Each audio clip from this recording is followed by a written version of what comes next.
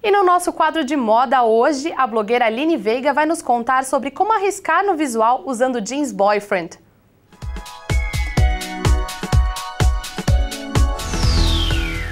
Olá!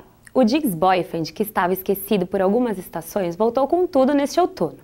Esse jeans é mais largo, bem masculino, como se você tivesse pegado emprestado uma calça do seu namorado mesmo.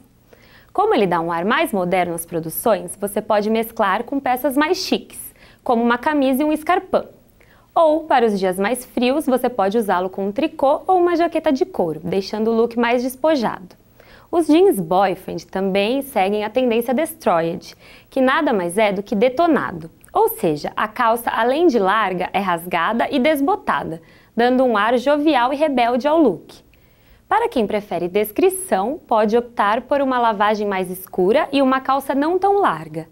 Os jeans mais largos e desbotados engordam e achatam a silhueta.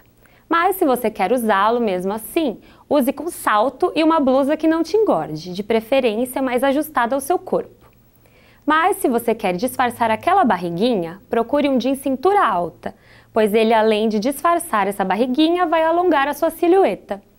Este tipo de calça jeans pode ser usada por todas as idades e estilos, mas lembre-se sempre de que quanto mais oversized ele for, que significa mais largo, mais moderno e jovial ele deixará o seu look.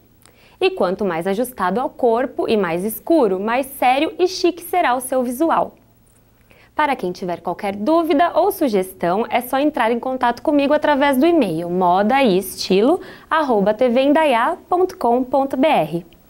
Muito obrigada e até a próxima semana.